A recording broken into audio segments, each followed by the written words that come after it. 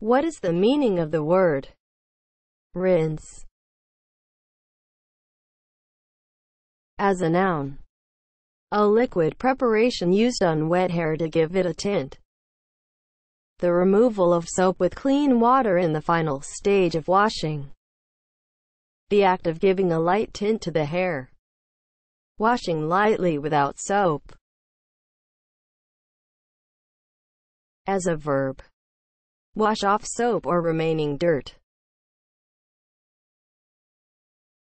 Rinse is spelled R I N S E. Rinse.